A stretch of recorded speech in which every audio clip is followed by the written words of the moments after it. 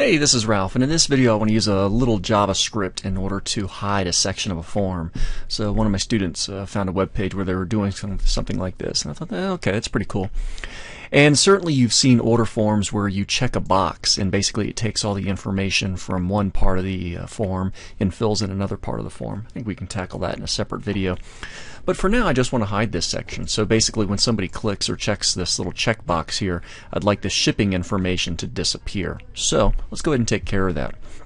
Um, before we start up though, I, I, have this basic form already created and I actually used this for a, a, video a few days ago and I'll make this web page available. Let me zoom out just for a quick second so you kind of get a good overview.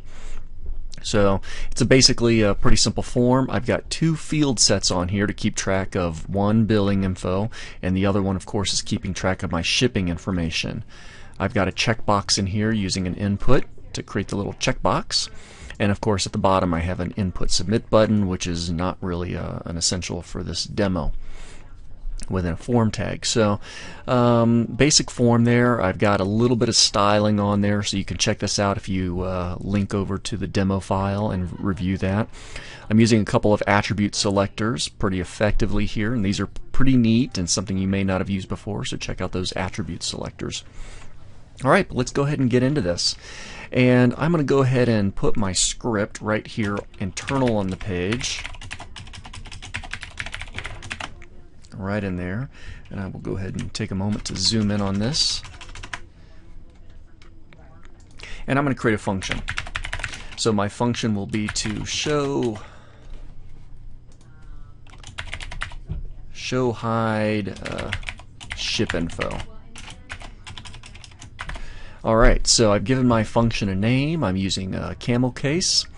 Uh, empty set of parentheses, we don't need to pass any arguments here, and then I've got an opening and closing set of curly braces that will contain the statements for my function, which is going to be a basic if statement, an if else actually.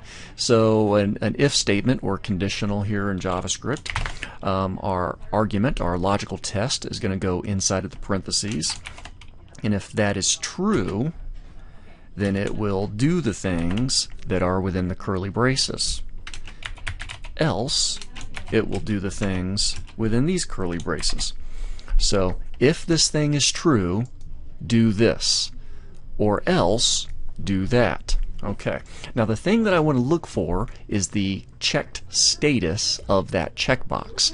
Now my checkbox, by the way, is uniquely identified. There it is right there. It's called ship same. So in my JavaScript, document.get element by ID, lowercase d, um, ship same dot checked. Let me zoom out so that's all in one line. Okay, so a checkbox and radio button for that matter are kind of unique in that uh, the checked status of them, if they are checked, that's true. If they're not checked, it's a false, which means I don't actually have to type in a comparison operator, something like true. I don't need to do that. Okay, um, I could, and it actually probably wouldn't hurt me in most of the modern browsers. But this is kind of weird because this implies if it's a checked checkbox, that would imply it is true equal to true, and that would be a true statement. As opposed if it was unchecked, it would be a is false equal to true, and that would be a false statement. So this is why it would probably work, but it's not essential. So we can just look at the checked. And if it's truly checked, well, then what do I want to do? I want to go to my document, get element by ID, and of course I need to get the ID for my field set now. It's going to be my ship info. And I'm going to do a, a style dot display equals none. There we go. So that's my statement. So if that checkbox is checked, then I'm going to take the display CSS property of my shipping info element and I'm going to set the display to none. Or else, in fact, let me just do a little copy paste here. I'm going to set it to block which is what it is by default. Okay, so this function called show hide ship info is going to check to see if my ship same checkbox is checked. If it is, then the shipping info will disappear. If it's not checked, then the shipping info will appear. Now I just need to call this function. Let me just delete some of those spaces. So my function is called show hide ship info. I'll just go ahead and copy that. I'm going to head down to my input text box to make sure you can really see where that is. There it is. And I'm going to go ahead and do an on click event handler. On click, I'm going to call my function, my show hide ship info function.